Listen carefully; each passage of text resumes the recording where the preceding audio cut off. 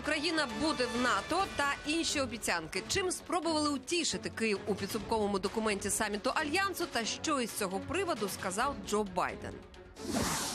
Віла суворого режиму місце зустрічі американського та російського президентів обнесли металевою стіною. Чи принесе розмова за колючим дротом новини для України?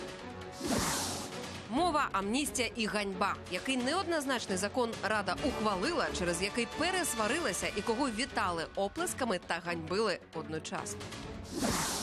Не танками єдиними на виставці зброї у Києві показали антигрибкові шкарпетки та спідню білизну, яку можна не прати до півтора місяця. Чим іще здивували. Ізолятор дуже тимчасового тримання. Остання будівля Херсонського СІЗО майже розвалилася. Що пропонують з нею робити і куди подінуть в'язнів?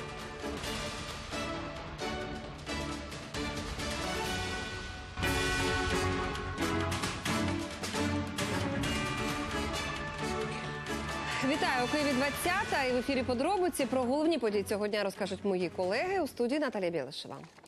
Україна гідна стати членом НАТО. Це позиція українського президента. План дій щодо членства ми можемо отримати вже наступного року. Це вже прогнози від головного вітчизняного дипломата.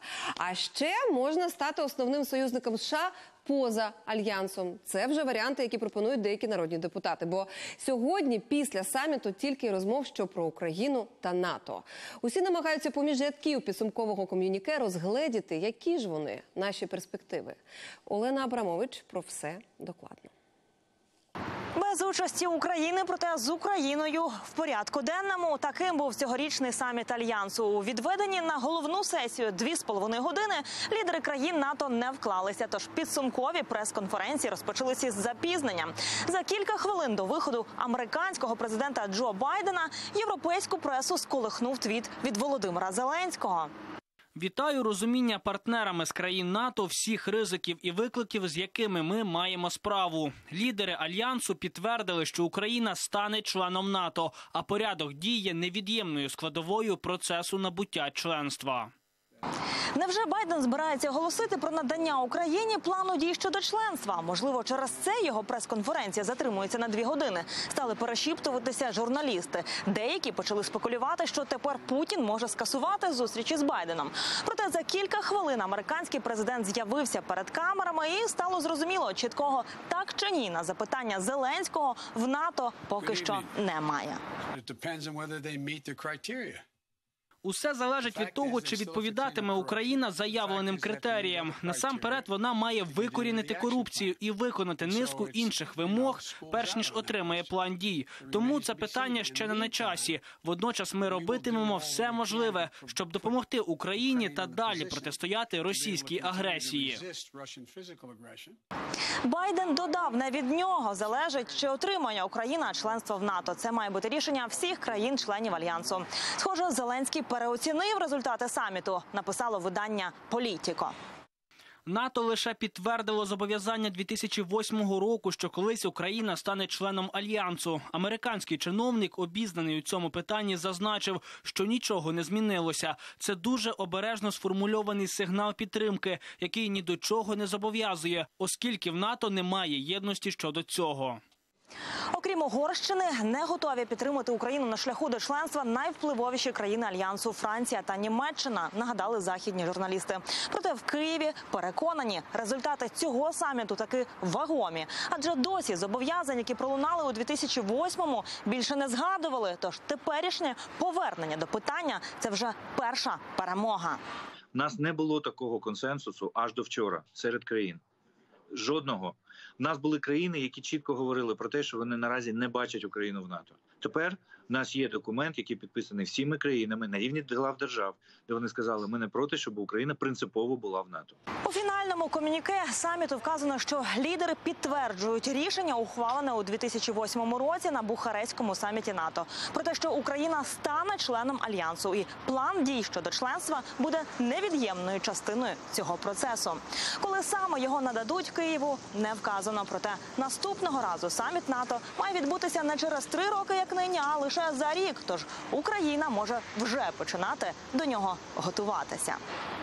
З Брюсселя Олена Абрамович, Європейське бюро телеканалу Інтер. А от до чого без перебільшення готується весь світ, то це до завтрашньої зустрічі Байдена та Путіна. Американський президент вже прибув у Женеву. А до того у Вашингтоні він розповів, як будуватиме свою розмову із російським президентом. Згадав і про Україну. Політичні заяви та обіцянки чув Дмитро Анопченко. Критично важливою назвав Джо Байден свою завтрашню женевську зустріч із Путіним і пояснив, вийшовши до преси, взагалі не чекає від саміту якоїсь довіри. каже, він назве Путіну перелік своїх вимог і ціну, якщо Москва не дотримається домовленостей. Річ не в довірі, а в домовленостях. Коли ви домовляєтесь із суперниками, ви ж не кажете Я вам довіряю. Ви кажете, ось чого я очікую. А якщо ви порушите укладену угоду, то домовленості скасуються. З огляду на цей принцип Байден збирається порушити теми, щодо яких у Вашингтона і Москви є спільні інтереси. Ми маємо вирішити, у яких питаннях в наших спільних інтересах і в інтересах світу співпрацювати. І водночас планує детально позначити, чого Москва за жодних умов не може більше робити. Байден називає це червоними лініями. У тих напрямах, де ми не погоджуємося, треба прояснити, де проходять червоні лінії. Під якими попередньо команда президента прописала нові кібератаки з боку Росії, до того ж як керовані урядом, так і з її території, спроби втручання в американські вибори та нові акти збройної агресії. Москва напередодні саміту з Байденом теж окреслює певні межі і заявляє про готовність йти на поступки. Вже лунають обіцянки повернути до роботи обох послів і російського, і американського. Їх зараз тимчасово відкликали, організувати обмін засудженими. У великому інтерв'ю американському каналу NBC Путін заявив про готовність спільно зі штатами боротися із кіберзлочинцями та розвивати космос. Ймовірно, це і будуть пропозиції Москви до саміту, напрями, якими Кремль намагається зацікавити штати. Журналіст кілька разів побічно згадав Україну, але Донбас в ефірі взагалі не обговорювався. Під час саміту так легко винести цю тему за дужки не вийде. Серед тез, які до зустрічі підготував Білий Дім, є Україна і є війна на сході. І за останніми даними з прес-служби Білого Дому, а там станом на зараз вже затвердили остаточний графік. Завтрашня Женевська зустріч Байдена і Путіна триватиме від 4 до 5 годин із невеличкими технічними перервами. Ну а всього в графіку американського президента затвердили слот на 6 годин, щоб після перемовин він ще встиг вийти до преси. З Вашингтона Дмитро Анопченко, Андрій Раман, американське бюро телеканалу Інтер. Найбезпечніше місто планети у Женеві зараз безпрецедентні заходи безпеки. Завтрашні переговори відбудуться на віллі Лягранж. Навколо неї вже встановили металеві бар'єри та кілометри колючого дроту. А охоронятимуть її тисячі силовиків. Востаннє це швейцарське місто так готувалося до приїзду політичних титанів 36 років тому, коли там зустрічалися Рональд Рейган та Михайло Горбачов. А яка вона Женева сьогодні? Дивіться. Набережна і прилеглі вулички за кількаметровим парканом. До озера не пускатимуть ні пішоходів, ні автівки. Навіть човнам та катерам заборонили наближатися до пристані впродовж однієї доби. Закрите над Женевою і небо. Запущені безпілотники вилучатимуть, а на власників чекатимуть штрафи. Думаю, цікаво провести захід для двох світових лідерів, як то Байдена та Путіна. Але у нашому повсякденному житті є недоліки, особливо що стосується транспорту. Поліція у Женеві на кожному кроці чергують військові машини, стоять радіолокаційні станції швейцарської армії. Всього до охорони порядку у місті долучили три тисячі силовиків. Головне завдання захистити від потенційних терористичних загроз вілу Лагранж, міжнародний аеропорт, дипвідомства та готелі. На один день також перекриють міст Монблан і під'їзд до готелю Інтерконтиненталь, де зупиниться Джо Байден.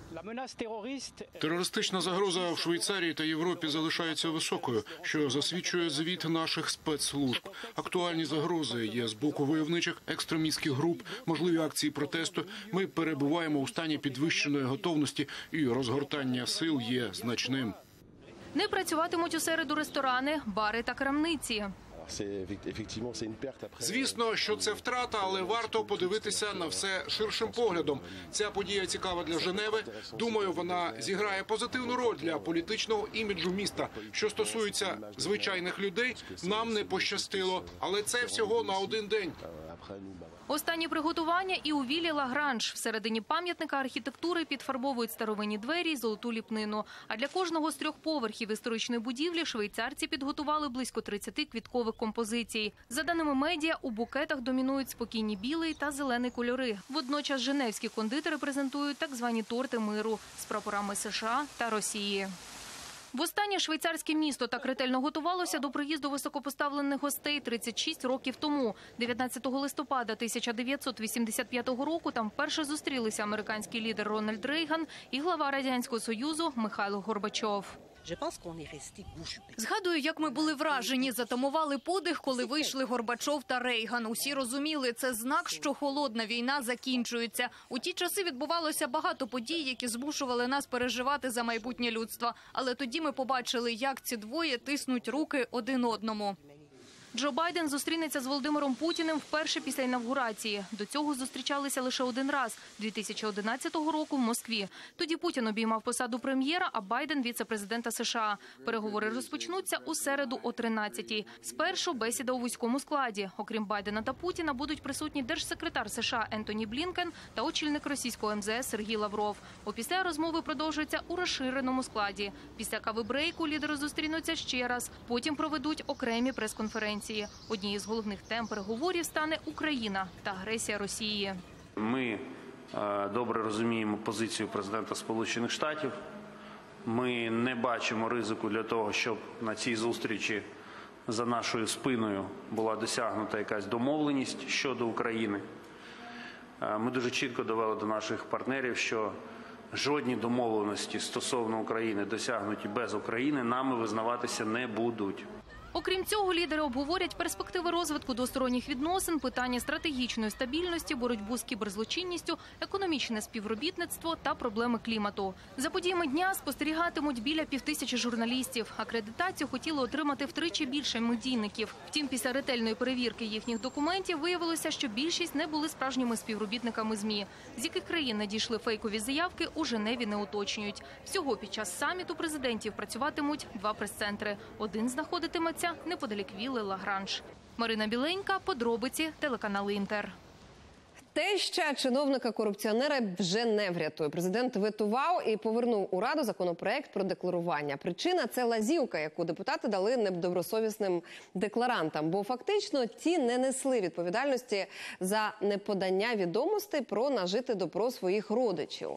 А ще президент сьогодні багато говорив про олігархів, точніше про те, яким буде життя без них. Саме деолігархізація це тема форуму Україна 30 цього тижня.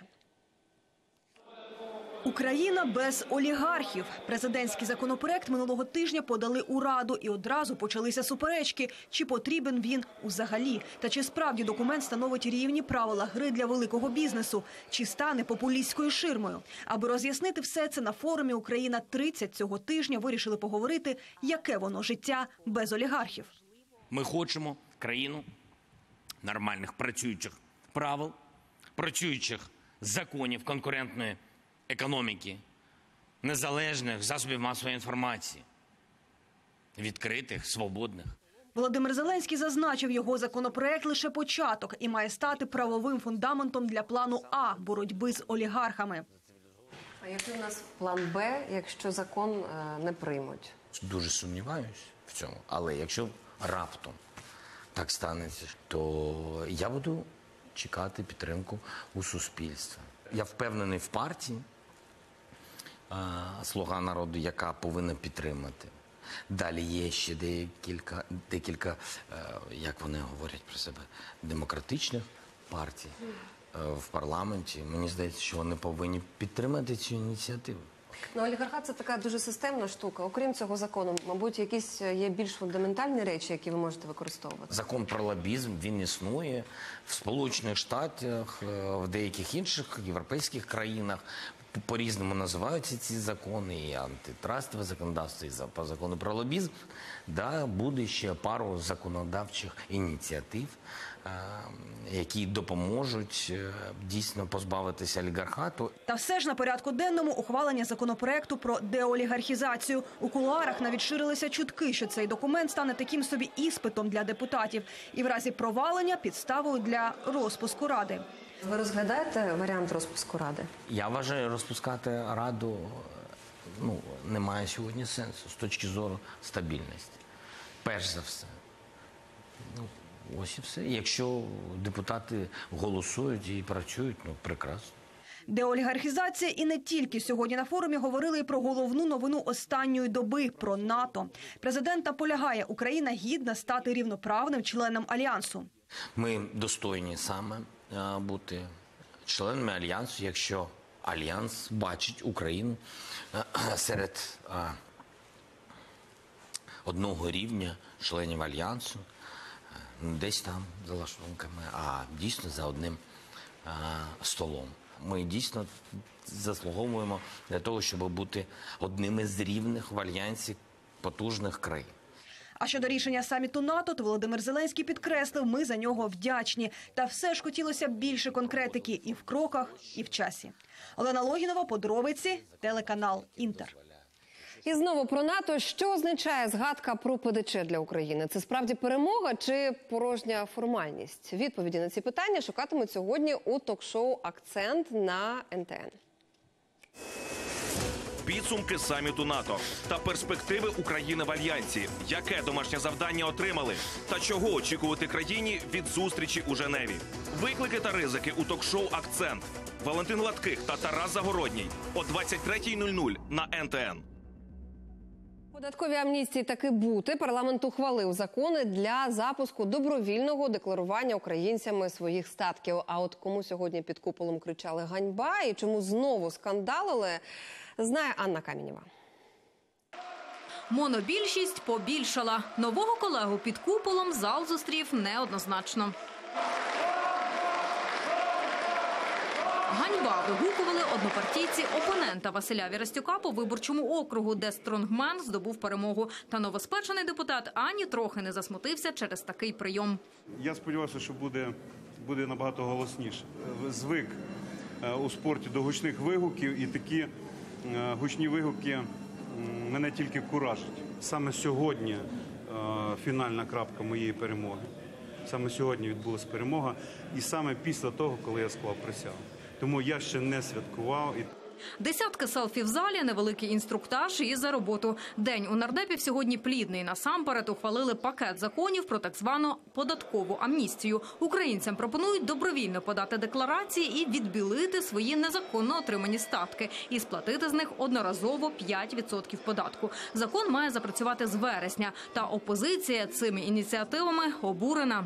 Ну, Щоб депутати, президент, міністри і всі інші для себе зробили декларування без податків, там, де у них реально є сотні мільйонів, а для людей сказали, що треба платити податок, такого взагалі в будь-якій країні бути б не могло. З новою силою в Раді в чергове розгорівся мовний скандал. З 16 липня усі фільми та серіали на телебаченні мають звучати виключно українською. Слуги ж удруге вже намагаються це відтермінувати. Тишком-нишком у перелік законопроєктів, які пропонувалося пакетом включити в порядок денний, потрапили і два документи про перенесення дня Ікс. І цю постанову ухвалили, ледь набравши необхідну кількість голосів. Є маніпуляція з боку влади, що там щось важко, там е, 10% це там замало російської мови. Е, Будь ласка, е, дублюйте. Ми вам дали вибір, дублюйте.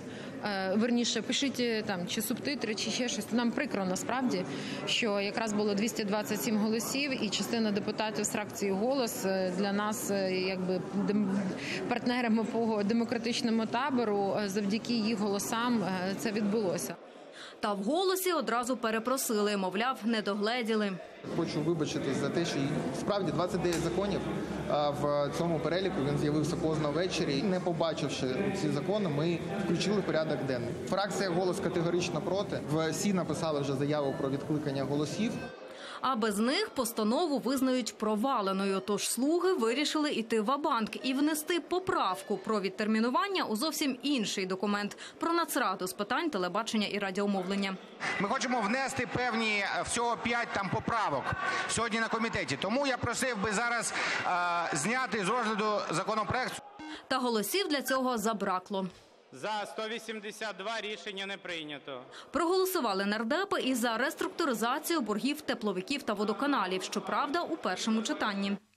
У нас э, сложилась катастрофическая ситуация с задолженностью за коммунальные тарифы из-за их высоких цен на, те- на коммунальные услуги. И люди просто задолжали около 80 миллиардов. Это взаимная задолженность. Она что сделан первый шаг в части теплокоммунэнерго, водоканалов, расширить задолженность, ликвидировать ее, освободиться, чтобы можно было начать отопительный сезон спокойно. Это, безусловно, позитивно, это первый шаг, а дальше пойдет э, расшивка долгов населения. Та після цього робота нардепів загальмувала. Взявшись за документ про незалежність Нацради з питань телебачення та радіомовлення, парламент потонув у поправках. Розглядатиме їх і завтра. Анна Каменєва, Ксенія Барвіненко, Олексій Шматов, Василь Миновчуков. Подробиці телеканал Інтер. Парламент був би іншим, якби вибори Верховну Раду відбулися вже цієї неділі. Опитування із таким питанням провів центр соціальний моніторинг. Отже, у Верховну Раду пройшли лише чотири політичні сили. За слугу народу готові віддати голоси трохи більше 23% респондентів. Опозиційна платформа за життя друга майже 16%. Далі європейська солідарність. У них понад 15%. І четверта батьківщина. Решта партій, згідно із цим опитуванням, не долають прохідний бар'єр. Під Верховною Радою сьогодні зібрався велолюдний мітинг прихильників опозиції. Учасники вирішили нагадати владі про її передвиборчі обіцянки. Чого вимагали? Про це далі. О півдні під Верховною Радою великий мітинг. До столиці з різних регіонів з'їхалися прихильники опозиційної платформи за життя. Мета нагадати владі про обіцянки насамперед щодо повернення миру. Ми знаємо, що як важко живеться людям, коли в країні війна. Ми знаємо, скільки горя вона принесла. І в нас не опустяться руки, ми будемо завжди боротися за те, щоб ця війна припинилась. Ми будемо разом з тими, хто хоче миру в країні, а цього хоче більшість громадян наших.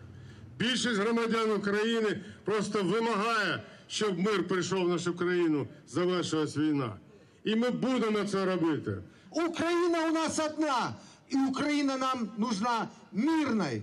Мы должны сохранить и отдать ее нашим детям, а не потом нашим внукам. Дотримання раніше досягнутих домовленостей сторонами і реалізація мирного плану деокупації такі вимоги опозиції. Ми будемо вимагати, щоб всі зобов'язання, які взяла українська влада, були виконані, зокрема і в рамках мінських домовленостей. Ми вимагаємо від Верховної Ради не ховатися, а почати системну роботу над наближенням миру в Україні. Це в першу чергу. Сегодня без Украины собираются лидеры России и Америки решать нашу судьбу. Вот мы и собрались сказать два слова о своей судьбе. Мы хотим мира, и пусть это слышат лидеры тех государств, которые собираются сегодня в Швейцарии.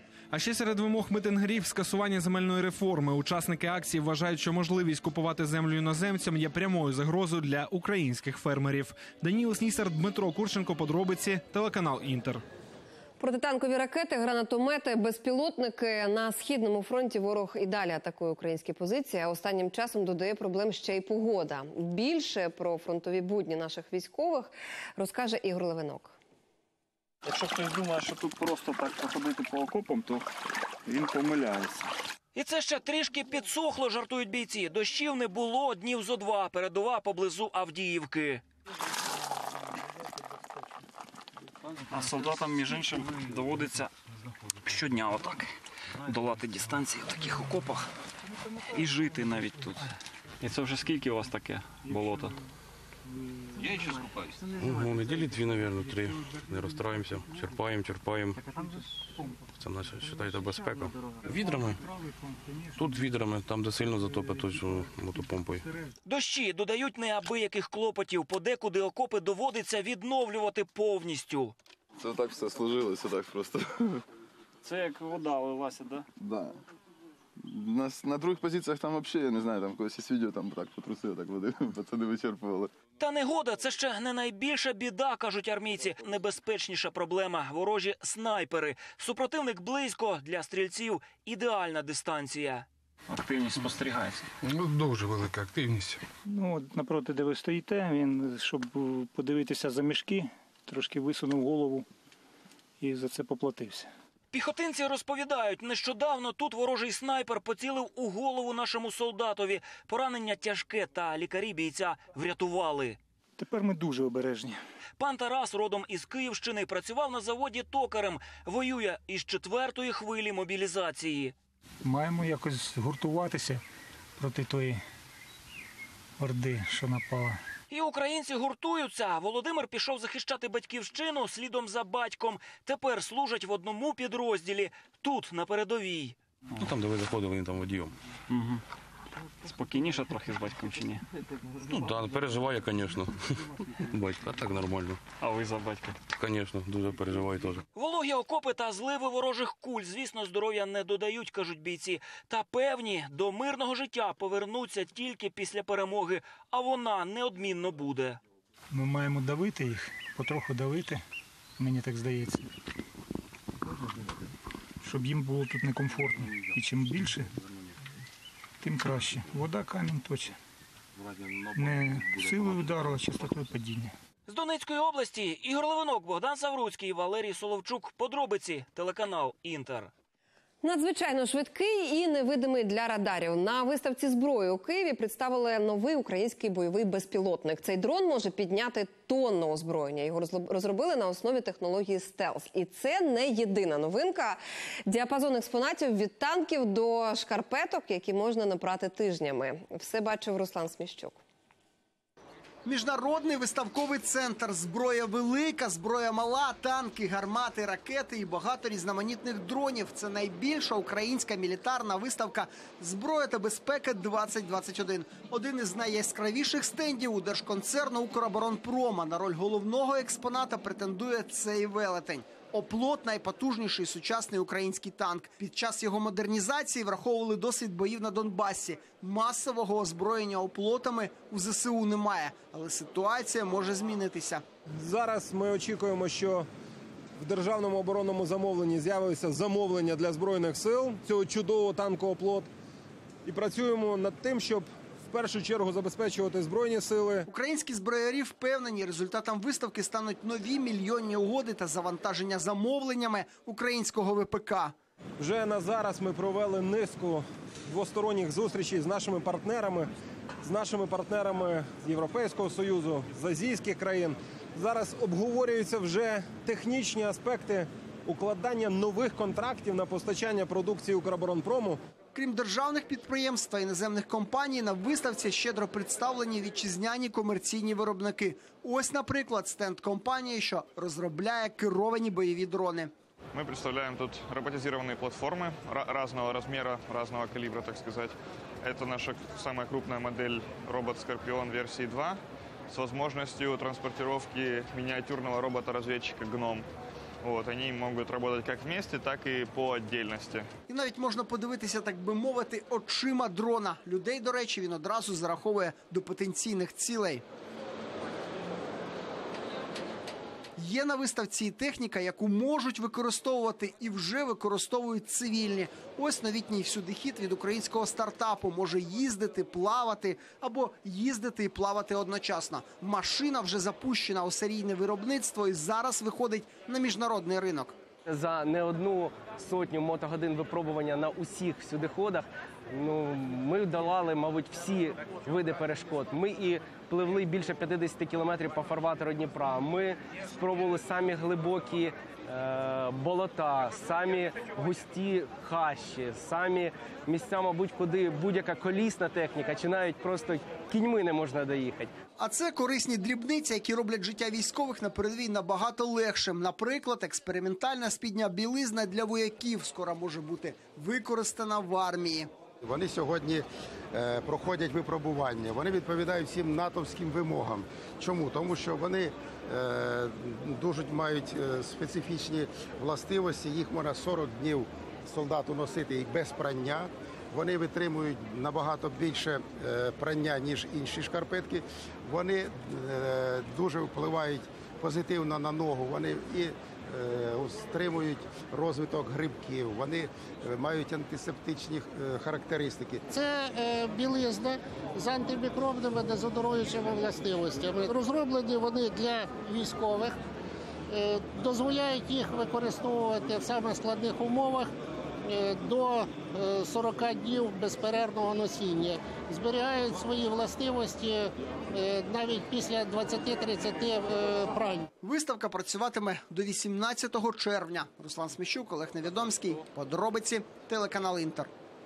Сквальний вітер, дощ стіною, залиті вулиці, повалені дерева. В Одесі погодний апокаліпсис. Зливи випробовують місто не перший день. На вихідних місто затопило за 15 хвилин. Через це міська влада рекомендувала в морі поки що не купатися.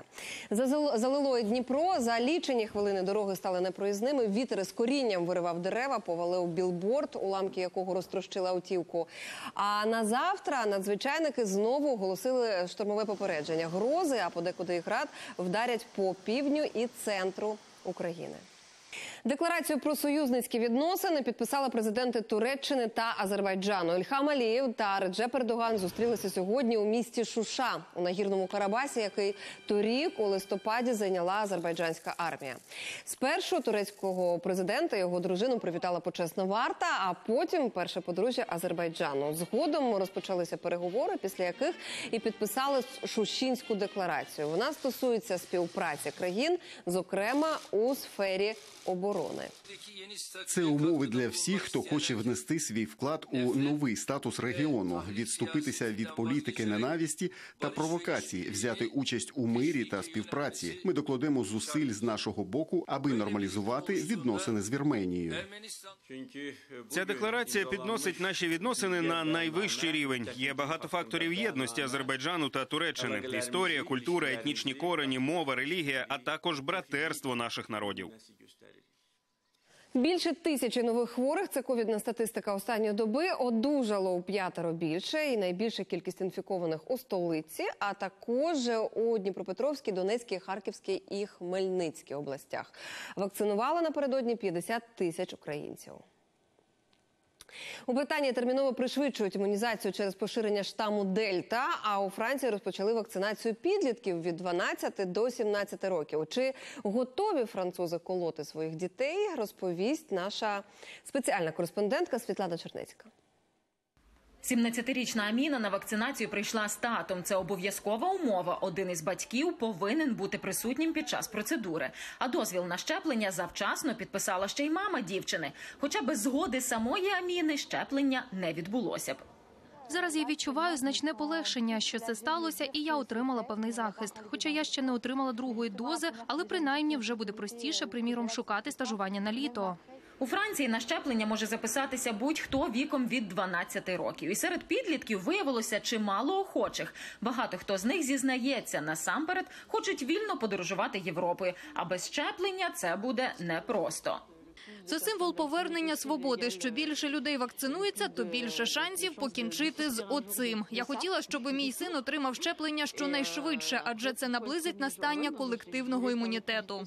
Наразі підлітків вакцинують лише одним препаратом проти коронавірусу. Тільки BioNTech Pfizer отримав схвалення Євросоюзу для щеплень дітям. А центрам вакцинації довелося підкоригувати запас медичних інструментів. У дітей менші руки, тому нам потрібні менші голки. Ось подивіться, голка шприца для дорослих ось такої довжини, а для дітей коротша. Тож не досягатиме кістки, коли ми робимо щеплення, а ще менше їх лякає. Пришвидшують програму імунізації населення у сусідній Великій Британії. Тут розгулявся штам під назвою Дельта, який вперше виявили в Індії. Він уже спровокував третю хвилю коронавірусу, і в уряді вважають, що зупинити її зможе лише тотальна вакцинація. Ми дуже стурбовані штамом Дельта. Він поширюється значно активніше, аніж ми прогнозували. Тому ми пришвидшимо отримання других доз для усіх, кому більше 40 років, щоб вони отримали максимальний захист якомога швидше. Британії навіть довелося відкласти так званий день свободи. Повне зняття усіх карантинних обмежень перенесли майже на місяць, щоб встигнути вакцинувати обома дозами більшу частину дорослого населення. Найбільшу частину інфікованих зараз становить молодь та люди середнього віку. Найчастіше це невакциновані або ті, хто отримав лише першу дозу захисту від коронавірусу. І хоча вони набагато легше за літніх людей переносять хворобу, існують серйозні ризики так званого довгого ковіду, коли симптоми інфекції відчутні навіть через кілька місяців після одужання. Світлана Чернецька, Валентин Біліч, подробиці, британське бюро телеканалу Інтер. Біля Кропивницького сьогодні перекривали дорогу. Гірники уранових шахт вимагали грошей і роботи. Проблеми з виплатами на купальнях тягнуться ще із квітня, і борг вже сягає майже 170 мільйонів гривень. Тож де гроші? питала Олена Бринза. Півсотні гірників безперервно ходять пішохідним переходом біля села Бережинка під Кропивницьким. У такий спосіб шахтарі перекрили трасу державного значення. За 15 хвилин тут же черги з автівок. Учасники акції пояснюють, на перекриття пішли, бо увірвався терпець. Від квітня гірникам трьох державних шахт не виплачують зарплату. І таке відбувається постійно. Аби отримати зароблені гроші, шахтарі вже перекривали траси державного значення взимку.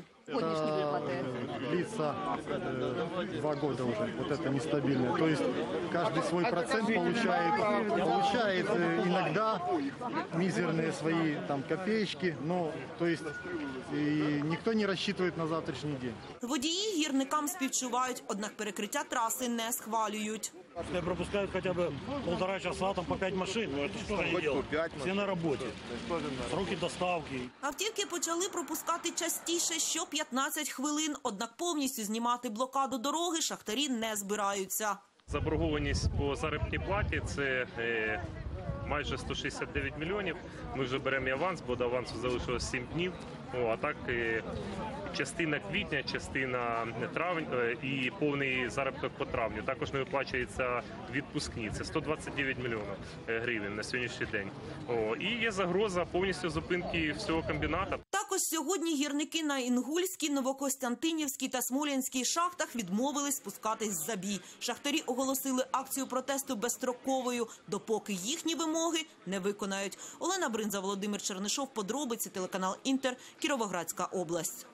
Переповнені камери та величезні щілини у стінах. Херсонський слідчий ізолятор розвалюється на очах. Майже всі корпуси в аварійному стані. Грошей на нові приміщення у держави немає. Хоча сидіти у таких камерах просто небезпечно. Настільки, що навіть делегація з офісу генпрокурора приїхала до СІЗО.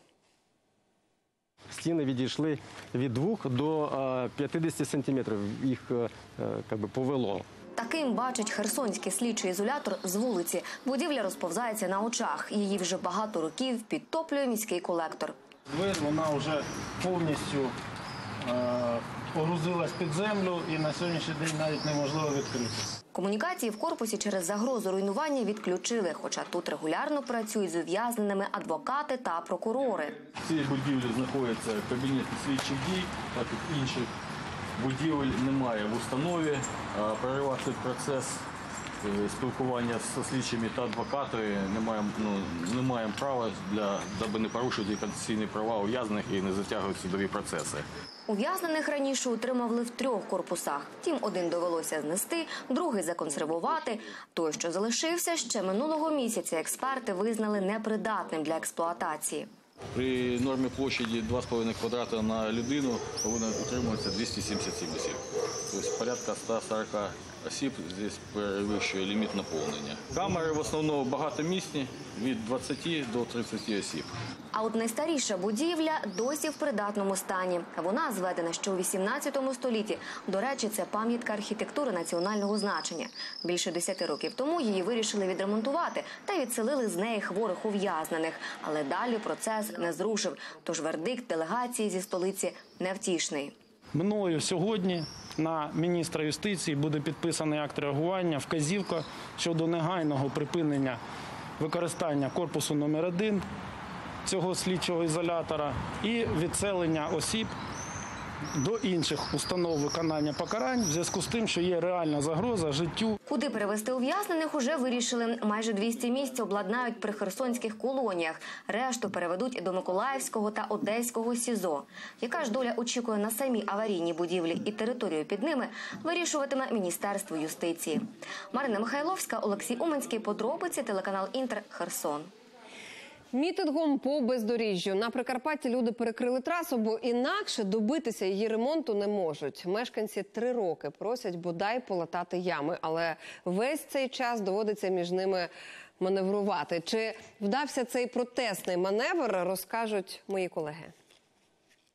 Ця дорога найкоротший шлях між двома містами Тлумач та Коломия. Обабіч знаходяться майже 10 великих сіл, в яких живуть тисячі людей, і всі вони щодня змушені долати це суцільне бездоріжжя.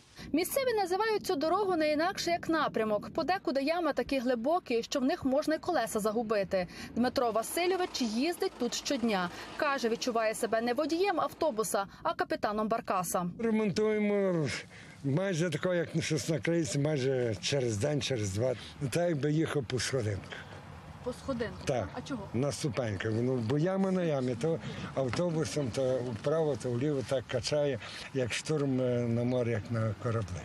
Роман їздить цією дорогою на роботу. Каже, востаннє її лагодили щонайменше років 30 тому. Проблема в тому, що скоро не може приїхати е, вчасно, тобто надати нормальну допомогу на цих ямах, на цій дорозі це нереально. Я кожен день молюся, щоб я спокійно доїхав, щоб я не розбив собі машину, щоб я ні на кого не наїхав, тікаючи від ями. Полагодити дорогу селяни просять вже не перший рік. Кілька років поспіль виходили на акції протесту. І щоразу шляховики обіцяли, з дня на день почнуть роботи. Та далі обіцянок справа так і не зрушила. Нас за нас всі забули. Ми нікому там не цікаві. Тож люди знову вийшли на протест, перекрили регіональну трасу Тлумач Городенка. Кажуть, вимагають не ямкового ремонту, а капітального. Ми вже третій рік добиваємося, хоч би нам ями залатали, бо зараз вже пізно ями латати. Вже зараз треба не будувати е, нову дорогу. Вчора їхав е, рейсовий автобус е, Івано-Франків Жуків, в нього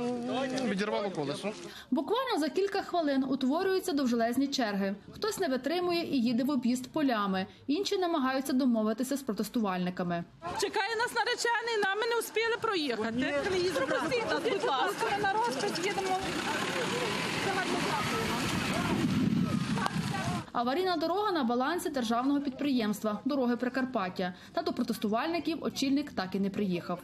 Керівник цієї установи, пан Сазон, е, він обіцяв і сказав, що дорога буде робитися, десь йому ще треба три тижні для того, аби перегнати сюди техніку. Це є обіцянка керівника. Чи ми можемо гарантувати Селяни наголошують, обіцянкам більше не вірять. Підуть звідси лише коли побачать на дорозі будівельну техніку. А якщо їх знову не почують, то перекриють вже центральну трасу Івано-Франківськ-Тернопіль. Жанна Дучак, Зноя Автонас, подробиці, телеканал Інтер, Івано-Франківська область. Його запрошували в Голівуд, але не відпустила радянська влада. Сьогодні 80 років від дня народження видатного українського актора Івана Миколайчука. Іван Сірецький побував на його батьківщині у Буковинському селі Чорторий.